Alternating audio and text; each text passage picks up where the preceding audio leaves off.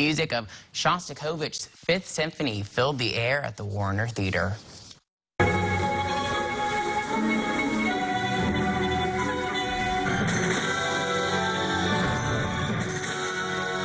Saturday was the first performance of the 2019-20 season for the Erie Philharmonic. Listeners gathered for Shostakovich's Fifth Symphony, consisting of scary yet exciting music, as you just heard.